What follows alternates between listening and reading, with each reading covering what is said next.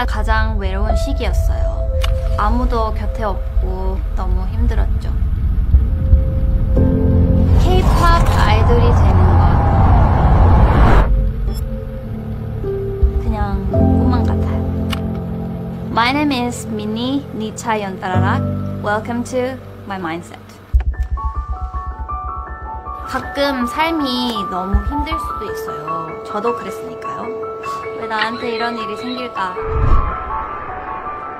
무조건 데뷔를 할 수 있는 것도 아니니까 자신이 없었어요. 실수해도 되니까 let's move on 하자. 꿈을 위해 도전해.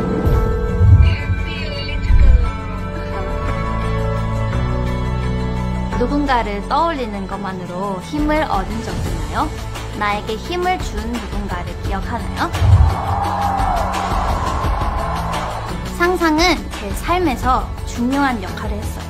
상상을 통해서 어떤 사람이 되고 어떤 일을 하고 싶은지 알 수 있었어요.